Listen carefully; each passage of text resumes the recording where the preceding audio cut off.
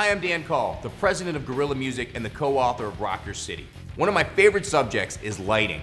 Most clubs have lights, but no light person. When they do have a light guy, it's incredible. He should know what he's doing and he'll usually make your band look great. I recommend that you tip your light guy a few extra dollars just to get extra attention from him. This way, you can also tell him what you want. When they don't have a light guy, you can teach someone else how to run the lights for you, and you can usually get a friend to help you. At the local level, your lights are as important as your sound. Lights can make your show so much better for your fans. They can help make you look like a national act while they increase the energy level on stage and in the crowd. Most groups don't even think about lights. The soundman turns them on and leaves them up whatever scene happens to be on the board at the time.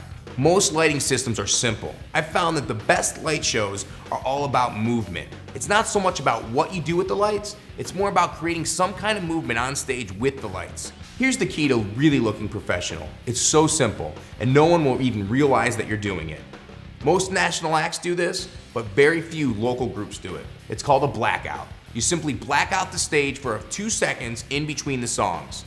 Then you have a light person turn the lights up just a little so the band can see just enough to prepare for the next song. If the next song starts with a quiet guitar, put a little light on that person. After it gets loud again, use a little more or even a lot more light.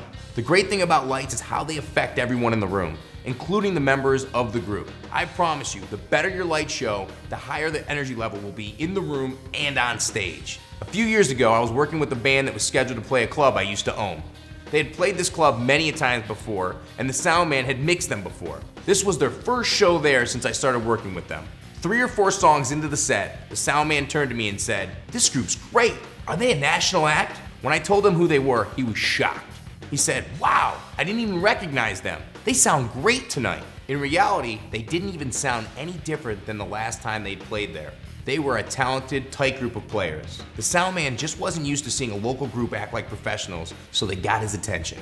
He actually listened to their songs instead of blocking them out, which is what most sound men do after mixing a few thousand groups. After the show, the band came up to me to say that this was their best show ever.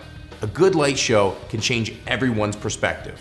I'm Dan Cull, wishing you and your band the very best. If you're interested in learning more about the music business, then stop by our sites at gorillamusic.com or rockyourcitybooks.com. Thank you.